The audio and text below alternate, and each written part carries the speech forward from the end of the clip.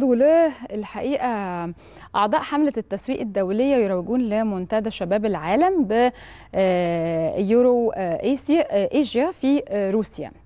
روج شباب حملة التسويق الدولية لمنتدى شباب العالم يوث فورم للمنتدى المقرر عقده في مصر إن شاء الله من الفترة من 2 ل 6 نوفمبر اللي جاي وذلك من خلال مشاركتهم في مؤتمر يورو إيجيا المقام حاليا في مدينة اوينبرج بروسيا.